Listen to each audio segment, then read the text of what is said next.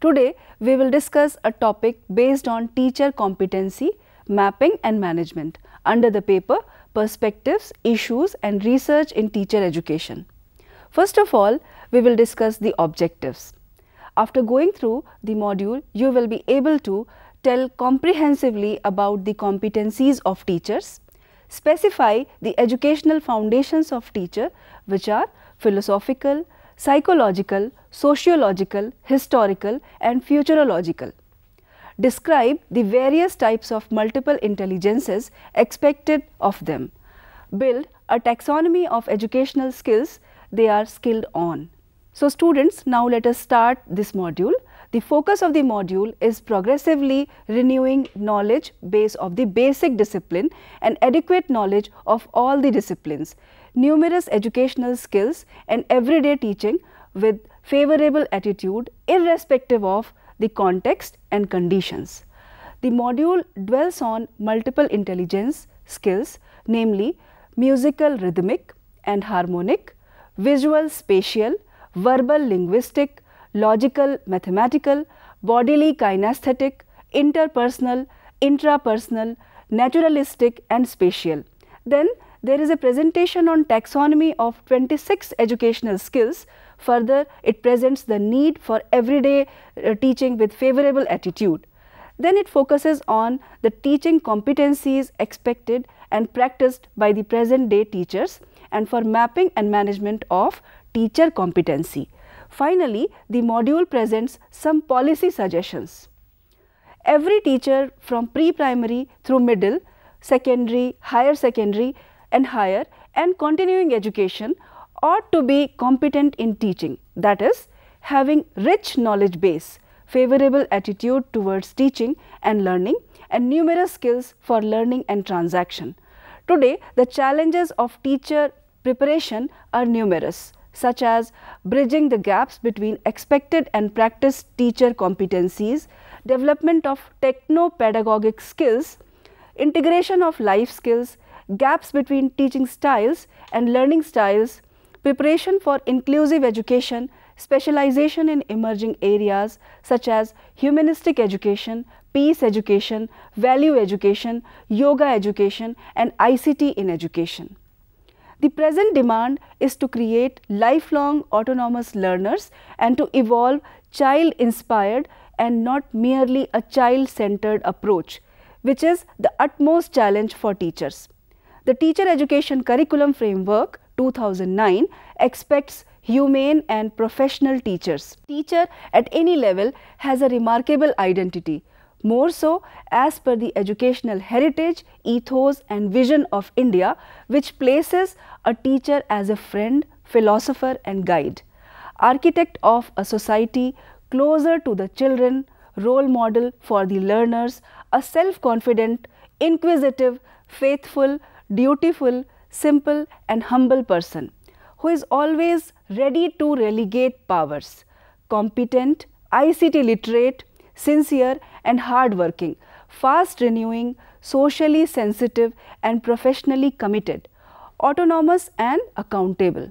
For this, there is a need to model the knowledge, skills and attitudes reflecting the best available practices in teacher education. Research can contribute to some of the areas of scholarly activity that are related to teaching. Learning and teacher education then the prerequisites for teaching is research. Teaching has to be research based. Otherwise, it is reduced to merely stereotyping and year after year duplication of the same contents. There are three essentials of a competent, proficient teacher. The first one is progressively renewing knowledge base of the basic discipline and adequate knowledge of all the disciplines. The second point is innumerous indeterminate requisite educational skills and the number 3 point is everyday teaching with favorable attitude irrespective of the context and conditions. Now let us discuss about the knowledge base of a teacher. They should be able to formulate curriculum, develop subject content and subject approaches of content transaction and conduct continuous comprehensive evaluation of teacher's profile to establish links between techno-pedagogy and learning theories. They should be competent to integrate academic knowledge and professional learning into a meaningful whole. They will be critically examining curriculum and textbooks and contextualize curriculum to meet basic needs. They will own professional skills in pedagogy through observation, documentation, analysis and interpretation, drama, craft, storytelling and reflective inquiry. Every teacher ought to have progressively renewing knowledge base of the basic discipline and interdisciplinary knowledge, then the knowledge becomes stagnant, stereotyped and worthless if it is not renewed.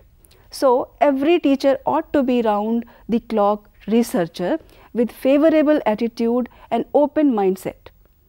Continuous interaction with the researchers in the allied fields, rather all the fields is a must for keeping a teacher intellectually alive. To be competent, a teacher ought to have multiple abilities which are the first one is musical, rhythmic and harmonic ability. This area has to do with sensitivity to sounds, rhythms, tones and music. People with a high musical intelligence normally have good pitch and are able to sing, play uh, musical instruments and compose music. Since there is a strong auditory component to this intelligence, those who are strong in it may learn better via lecture. They will sometimes use song or rhythms to learn. So, students now let us see the visual spatial ability. This area deals with spatial judgment and the ability to visualize.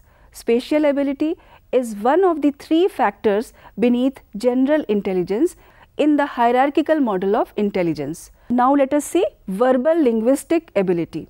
People with high verbal linguistic intelligence display a facility with words and languages. They are typically good at reading, writing, telling stories and memorizing words along with dates. Verbal ability is one of the most general intelligence loaded abilities. Now let us see the logical mathematical ability. This area has to do with logic, abstractions, reasoning, numbers and critical thinking. This also has to do with having the capacity to understand the underlying principles of some kind of causal system. Logical reasoning is closely linked to fluid intelligence and to general intelligence. So, dear students, now let us see bodily kinesthetic ability. The core elements of the bodily kinesthetic intelligence are control of one's bodily motions and the capacity to handle objects skillfully. Gardner elaborates to say that this also includes a sense of timing, a clear sense of the goal of a physical action along with the ability to train responses. People who have bodily kinesthetic intelligence should learn better by involving muscular movements and are generally good at physical activities such as sports, dance, acting and making things. Now let us see the interpersonal ability. This area has to do with interaction with others. In theory, individuals who have high interpersonal intelligence are characterized by their sensitivity to others' moods, feelings, temperaments and motivations and their ability to cooperate in order to work as part of a group. Those with this intelligence communicate effectively and empathize easily with others and may be either leaders or followers. They typically learn best by working with others and often enjoy discussion and debate. Gardner believes that career that suit those with this intelligence include being a salesperson, politician, manager, teacher, counselor and social worker. So, dear students, now let us see the intrapersonal ability. This area has to do with introspective and self-reflective capacities. This refers to having a deep understanding of the self, what one's strengths and weaknesses are, what makes one unique, being able to predict one's own reactions and emotions. Now let us see the next ability which is naturalistic ability.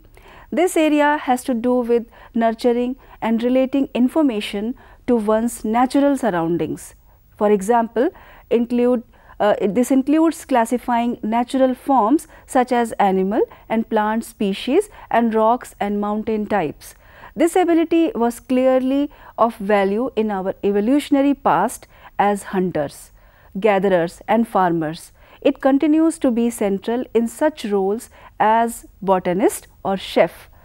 This sort of ecological receptiveness is deeply rooted in a sensitive, ethical and holistic understanding of the world and its complexities including the role of humanity within the greater ecosphere. Now, let us see the spiritual ability. Spiritual intelligence is a useful construct particularly in the eastern philosophy. It is the supreme uh, integrating power resident within along with the other faculties. Dear students, now let us see the taxonomy of educational skills.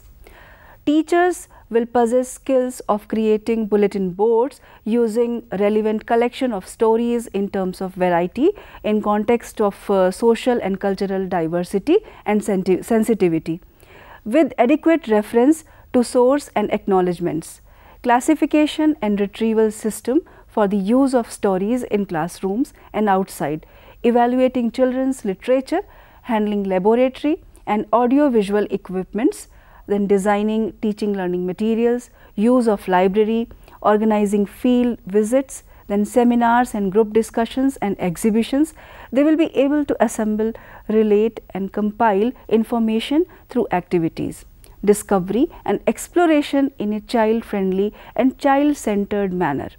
They will be equipped to select and organize subject content and learning experiences from the community for the classroom. They will create explanatory terms with relevant vocabulary to increase language proficiency. They will organize learner centered, activity based participatory learning experiences, play, projects, discussion, dialogue, observation, visits and learning to reflect on their own practice. They will engage with subject content, examine disciplinary knowledge and social realities, relate subject matter with the social milieu of learners and develop critical thinking. They will be able to examine impact of competition in personal and social life, observe the role of listening, attention and empathy and the role of a teacher in establishing relationship with children and as a communicator. They will evolve in listening to children's reading, observing and analyzing reading difficulties observing and identifying mismatches between school language and home language, analyzing textbooks and other materials used in different subjects in terms of presentation style. They will be able to listen to children with attention and empathy, prompt children to ask questions and collate those for further processes of learning. They will be able to examine learners in the light of empirical research and attempts at leading learners towards newer ways of thinking. They will be able to talk, explain, narrate, ask questions, illustrate, translate, guide, instruct, caution, motivate, encourage and play various other roles and forage linkage among learners, context, subject discipline and the pedagogical approach and comprehend in didactic language. Ultimate aim of education uh, anywhere should be to develop a complete human being. So, students now let us see that uh, there is a need to realize skills in all the areas. Education ought to be rational as well as scientific. There is a need to realize skill inclusive, skill integrated and skill evolving school education and teacher education at all levels, right from pre-primary to tertiary and continued education. The 26 of the indeterminate educational skills are presented as follows. The first skill is info savvy skill. In the digital age of ICT, everyone should be info savvy that is in a position to skillfully do, asking, accessing analyzing, applying and assessing. There is a need of integrating info savvy skills in education. The second skill is techno-pedagogic skills. Most of the teachers and teacher educators even in this age of ICT are pedagogues but not techno-pedagogues. There is a need to develop techno-pedagogic skills such as media message compatibility, temporal and spatial proximity of message forms, media language proficiency, message media and mode integration, realizing media credibility and message authenticity, media search and choice. Now, let us see the next one which is vocational and occupational skills. We need to identify, uh, nurture and develop vocational and occupational skills in various areas such as agriculture, horticulture, sericulture, electricity, electronics, sewing, plumbing, nursing so that the young ones become productive and self-supportive. Now, let us see the next skill which is research and construct skill. There are various research skills such as imagination and creativity, logic and reasoning, conceptual and theoretical thinking, reflection and feedback, data collection, experimentation, analysis and dissemination. These days uh, there is added focus on constructivist approach. The constructivist approach demands various skills such as engaging, exploring, explaining, elaborating and evaluating. All these skills need to be comprehensively identified and practiced. The next skill in this order is management skill. There should be education for critical and creative managers along with the abilities of planning, organizing and controlling. Creative and critical management demands various skills such as instantaneously zooming out and zooming in, more eco-driven than ego-driven, sometimes over and above the system, but never against the system, always deals in public agenda never in personal agenda, is open-minded rather than closed opinionated, sets the organization towards vision rather than lost in routines, delegates to the level of irreversibility, believes in building on strengths, generates lasting commitments, brings the process to logical end, believes in total quality management, deals in reality with intelligence, wit and humor. Now, let us see the other skill which is life skill. Various life skills such as self-awareness, empathy, interpersonal communication, coping up with stress, coping up with emotions, creative thinking, critical thinking, decision making and problem solving have been introduced in the school curricula in India but the teacher education institutions have largely not integrated these skills. There is a need to bridge the gap between requirement of school education and teacher education. Now, let us see the other skill which is adjustment skill. There should be adjustment in all the spheres of life such as home, then health, society, emotions and education. How to adjust in all the areas all of us need to learn to live together. Adjustment simultaneously in all the areas is rarely found these days. There is a need to realize comprehensive adjustment. There is a dire need to realize symbiosis. Now, let us see the other skill which is special education skill. Learners with special needs require specially skilled teachers. Also, the scope of technology integrated special education needs to be explored. Now, let us see the next skill which is human development skill. Education should be man making. There is a need to integrate emotional development skills, spiritual development skills and above all human development skill. Holistic education and evaluation demand conceptualization, acculturation, classification and integration of various skills. Some appreciable attempts have been made and are being made both at the school education and teacher education levels. Now let us see the accountability and adaptability skill. There is a need to exercise responsibility in personal, workplace and community contexts so as to set and meet high standards. We owe an explanation to the self as well as others for each and every act of ours. We need to moderate our temperament many a times with others.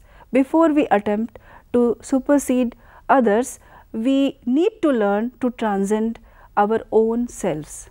Now, let us see the communication skills. There is a need to establish effective communication in a variety of contexts through a variety of forms, both intrapersonal and interpersonal, intra-faculty and inter-faculty, intra-nation and inter-nation.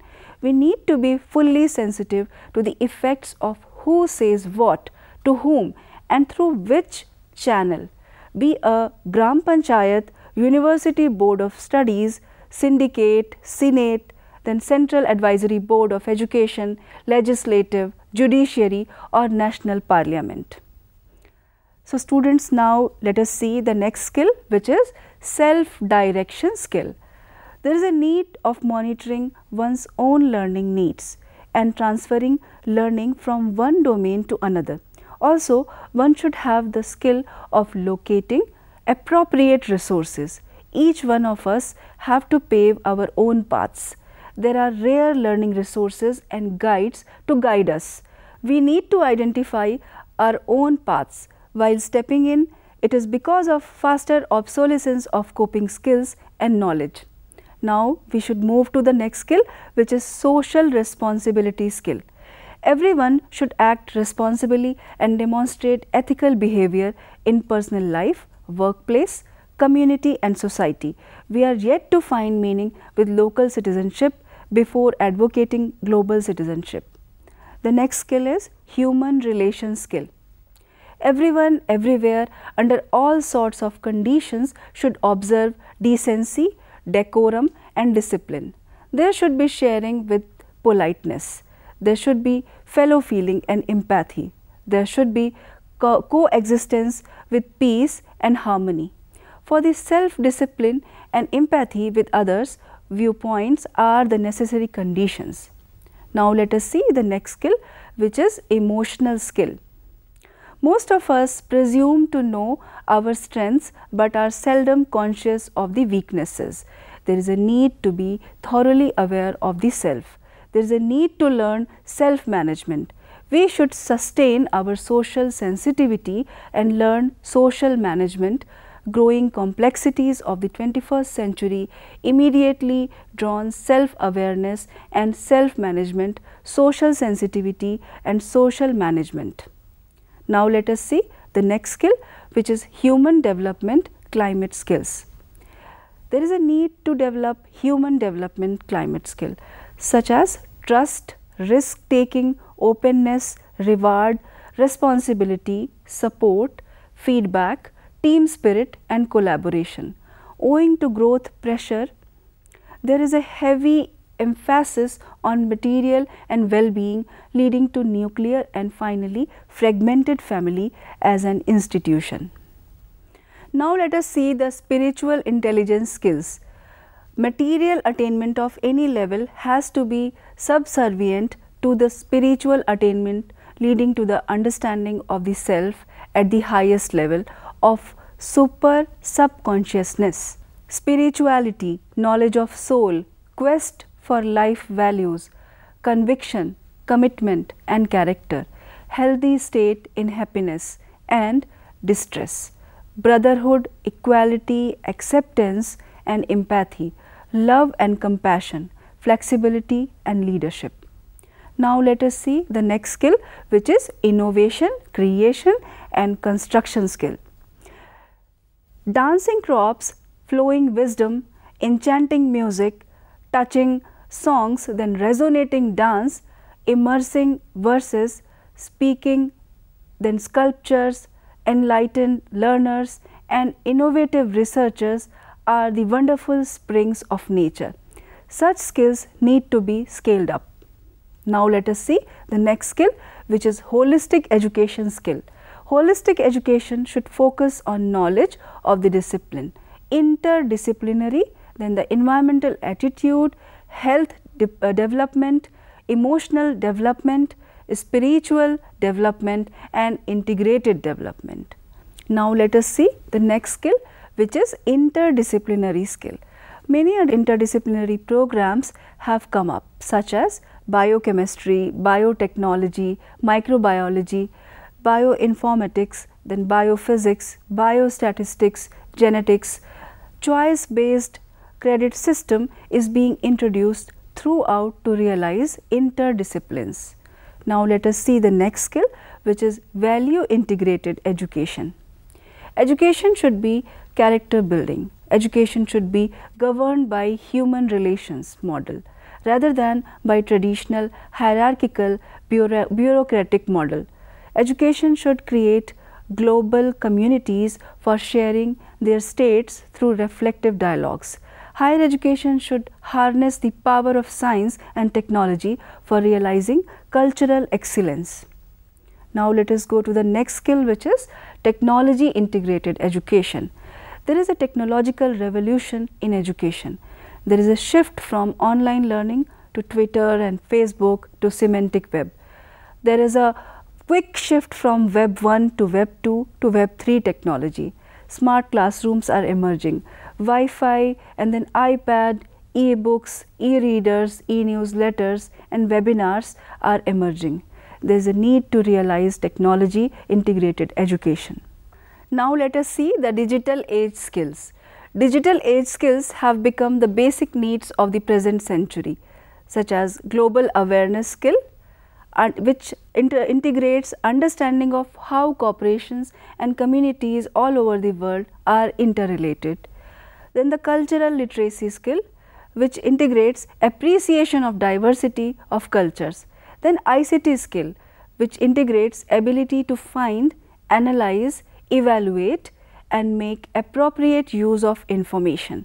Scientific literacy skill which integrates understanding of both theoretical and practical aspects of science and functional literacy skill which uses the information and knowledge for li living healthy, happy and meaningful and long life. Now let us go to the next skill which is yoga skill yoga should be essential in educational curricula. Now let us see the citizenship skill. Everyday teaching with favorable attitude can make a person reconceptualize citizenship education in terms of human rights and approaches of critical pedagogy, emphasize environment and its protection, live in harmony within ourselves and with natural and social environment, promote peace, democratic way of life, constitutional values of equality, justice, liberty, fraternity and secularism and care value. Now let us see holistic development skill. For realizing this competency, a teacher should be fully healthy physically, mentally, heartily, spiritually and environmentally. Let us have a look on the human body system. The organ systems of the body include the musculoskeletal system, circulatory system, digestive system, endocrine system, integumentary system, excretory system, lymphatic system, immune system, respiratory system, nervous system and reproductive system. An alarming number of teachers and teacher educators have many physical and mental problems. High uh, or low level of blood pressure is a common problem which is caused by so called high living. All the students, teachers, student teachers and then educationists and teacher educators have perhaps forgotten the advice of the common man which says simple living and high thinking and health is wealth. Now, let us see the gap between the teaching uh, competencies expected and practiced there are evident gap between the teaching competencies expected and practiced. Out of the numerous teaching competencies identified at primary school level, the competencies to prepare teaching aids, then utilize teaching aids, operate hardware, demonstrate experiments adopt concept attainment model, then project method, guided discovery method, inductive deductive method, problem solving method, creative teaching method and group discussion method. Provide effective feedback, diagnose student learning difficulties, organize remedial instruction, provide educational assistance for children with special needs, undertake multi-grade teaching, organize and conduct guidance services, conduct follow-up activities, conduct action research, implement new educational ideas, analyze a textbook and establish rapport with parents and community where not practiced by the primary school teachers. No system of education can rise above the quality of its teachers and the quality of teachers greatly depends on the procedures used for admission into teacher education, then the quality of teacher education, then means deployed for selection as teachers for placement and the strategies adopted for ensuring accountability. There are wide perceptible gaps between teaching competencies expected developed and practiced by the teachers, right from pre-primary school education through higher education. Let us discuss now the teacher competency mapping and management. Along with the foundation and core courses such as philosophical, sociological, psychological, historical foundations of education, methodology of educational research, taxonomy of educational skills, classroom management, education in the emerging Indian society, measurement and evaluation, ICT in education and special areas such as teacher education, educational administration, computer education, guidance and counseling, value education, health education, there is focus on content cum methodology. Particularly at NTT, DLED, BEd, BP Ed levels, the content level of the pupil teachers is accepted as it is, except in case of integrated teacher education programs, namely BA BEd and BSc BEd. Dear friends, now let us conclude this module. Uh, for conclusion, I would like to say that it is high time for the nation to formulate national teacher education policy through country-wide democratic reflective dialogue on one side, it is a challenging task to develop teacher competencies, on the other to map these.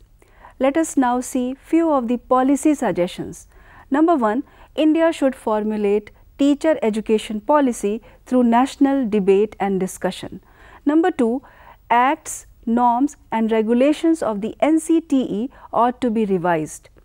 No one should dare to play with these for unfair gains. Number 3, taxonomy of educational skills need to be evolved. Number 4, the uh, curriculum framework of teacher education and school education ought to be in tune. Number 5, holistic competencies are required for realizing holistic education. Thank you.